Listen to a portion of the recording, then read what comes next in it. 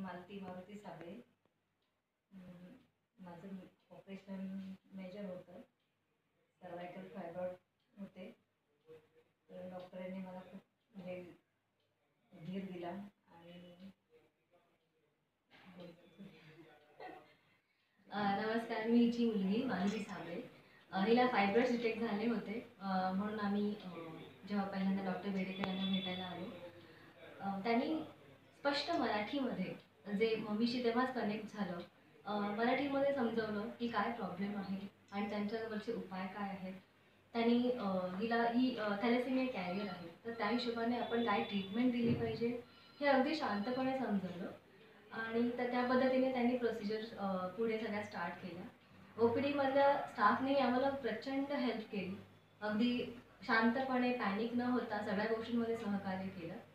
आणि त्या हिशोबाने मग येस आम्हाला ब्लड चढवायला सांगितलं होतं. ब्लड चढवणं फ्रँकली आमच्यासाठी पहिल्यांदाच एक्सपिरियन्स होता. पण डॉक्टर चेतन यांनी ठाण्यामधल्या जेवढ्या पण ब्लड बँक्स आहेत त्या सगळ्यांना फोन करून विचारलं की तिथं जे पण ब्लड ग्रुप आहे ते अवेलेबल आहे का वगैरे? जे बघायला गेलं तर आम्ही करायला पाहिजे होतं. पण त्यांनी अक्षरशः अर्धा तास काढून प्रत्येक बँक्समध्ये विचारलं. शेवटी मग एका बँकेमध्ये मिळालं. तर जे आम्हाला करायला हवं होतं ते त्यांनी केलं. तर हे मला आजपर्यंत आम्ही हॉस्पिटल्स एवढे बघितले पण असा एक्सपिरियन्स खरंच कुठे नाही आला. आणि जेव्हा ऑपरेशन होतं तेव्हा अगदी सिस्टर गोरे म्हणा किंवा सिस्टर देशमुख म्हणा तर त्यांनी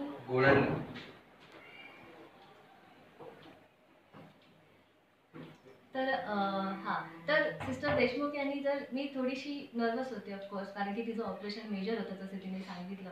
त्यांनी अक्षरशः पाठीवर मायेची थाप अशी टाकली आणि म्हणाले की तू कुठलीच काळजी करू नको. आपले डॉक्टर चांगलेच आहेत. सगळं टीम चांगली आहे.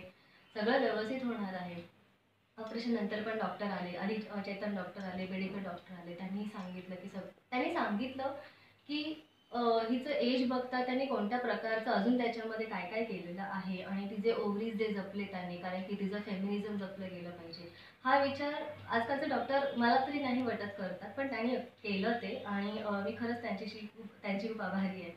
आणि पूर्ण जेव्हा आम्ही आता चार पाच दिवस इथे होतो तेव्हा सगळ्याच स्टाफने आणि स्पेशली मी मनीषा यांचे खूप आभार मानते की त्या अगदी आईच्या मायेने यायच्या की तुम्ही काही खाल्लं का? तुम्हाला काय हवं आहे वगैरे. जेवण देताना म्हणा किंवा अगदी साफसफाई सगळ्या सगळ्या सगळ्या गोष्टींमध्ये आणि इतके आम्ही बारीक बारीक क्वेश्चन्स विचारले जे बाकीच्या हॉस्पिटलमध्ये मे बी ते लोक त्यांनी ओरडलं असतं की तुम्ही एवढं का विचारताय?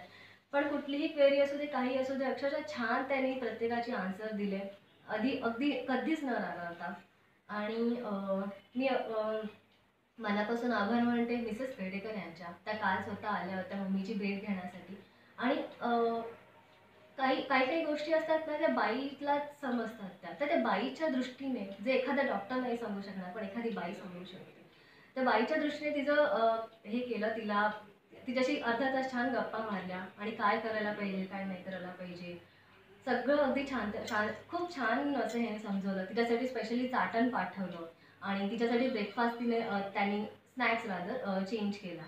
तर हे या गोष्टी कुठेच नसता झाल्या. आणि म्हणजे हॉस्पिटल प्लस अगदी सेकंड होम म्हणता येईल कारण आम्हाला इथे जेवण वगैरे आणायची काहीच हे नव्हते. त्याच्यामुळे फॅमिलीज पण व्यवस्थित राहिल्या घरी आणि आम्ही पण इथे व्यवस्थित राहू शकलो. रादर आमची तर भांडणं व्हायची की आज इथे कोण जेवणार? इतकं सुंदर जेवण होतं. अगदी. आणि आणखीन एक गोष्ट ही जी मी इथं ऑब्झर्व केली ती म्हणजे की सगळा मराठमोळा स्टाफ मला लँग्वेजचा प्रॉब्लेम नाही आहे पण जेव्हा म्हातारा पेशंट असतो स्पेशली मराठी बोलणारा असतो तेव्हा आणि जेव्हा मराठी स्टाफ असतो मराठी डॉक्टर असतात तेव्हा ते कनेक्शन होऊन जातं. आणि दुसरं घर किंवा तसं होमली अशी फिलिंग येते. या सगळ्याच गोष्टींचं पूर्ण पॅकेज आहे आणि ऑफकोर्स मी बाकीच्यांना पण रेफर केलं होतं. रादर मी माझ्या फ्रेंडला जेव्हा तिला तिने होप सोडून दिले होते तिला बेबी होत नव्हता आणि डॉक्टरांना रेफर केला तिला ट्वेन्स झाले.